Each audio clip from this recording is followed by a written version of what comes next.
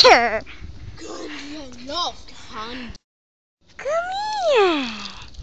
Come here. Yeah. Yeah. Come on. Come on, little girl. Come on, I want some more candy. You little girl. Bloody murder. And theaters.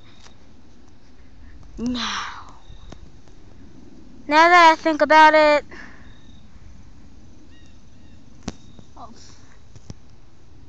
um, uh,